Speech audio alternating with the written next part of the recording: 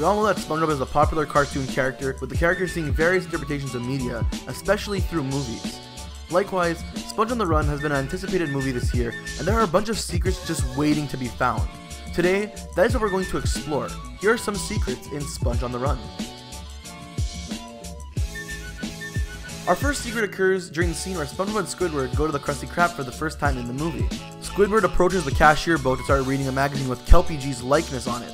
From here, SpongeBob annoys Squidward as usual and proceeds to walk into the back talking about Old Gertrude, which is a nickname given to the stove in which the Krabby Patties are cooked on. While everything seems normal at first, if you have a look at Squidward's magazine, you can see that there's an eerily familiar face on the back of it. This is the robber who stole SpongeBob's paddy wagon in the first movie.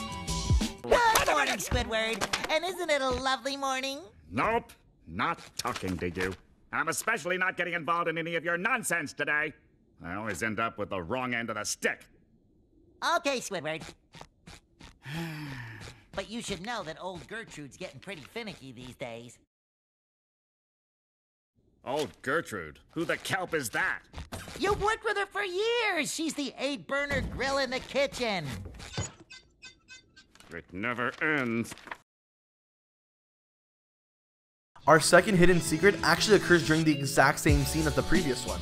In the scene, in order to get old Gertrude up and running in the morning, SpongeBob proceeds to read a book titled The Little Griddle Who Could. Upon doing so, we can see two prominent sticky notes hanging just below the kitchen window. If you take a closer look, you can see the same doodle that was used to portray SpongeBob in his early concept phase, where he was originally called SpongeBob Ahoy. This doodle was created by the late Stephen Hillenburg when he was originally creating the concept of SpongeBob.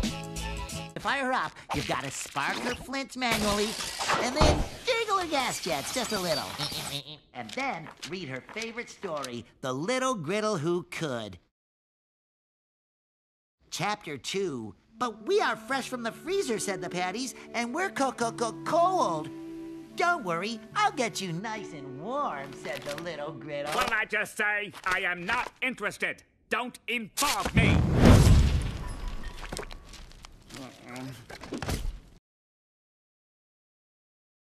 Our third secret occurs during the scene where we see Plankton and his computer wife Karen for the first time.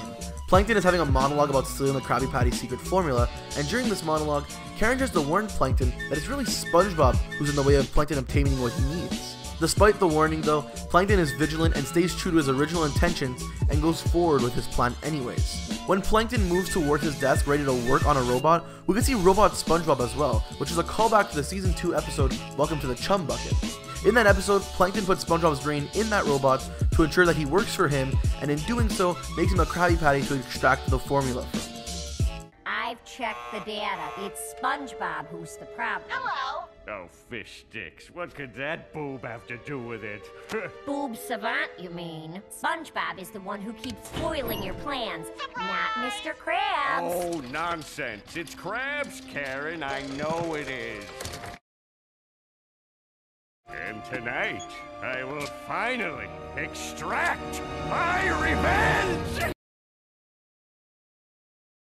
One of the secrets present in this film overall is the reoccurring instance that SpongeBob refers to his beloved snail Gary by various names. One of those many names is the name Gare Bear.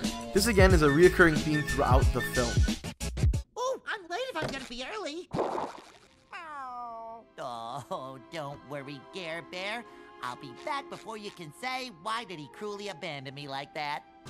Gary, I'm home. Gare Bear? Hey, where are you, buddy? Wish you many happy years together. Thank you. Oh, did you hear that, Gare Bear? Our last secret on the list comes in the form of the original movie poster. In this poster, SpongeBob and Patrick are both using binoculars, which illustrates the importance and message behind looking for Gary. However, if you look at Patrick, you can see that he's using his binoculars in reverse. This is a very unique callback to the second SpongeBob movie, Sponge Out of Water, where Patrick uses his binoculars in reverse. However, in typical Patrick fashion, this is just his typical behavior that you'd expect from a character like Patrick.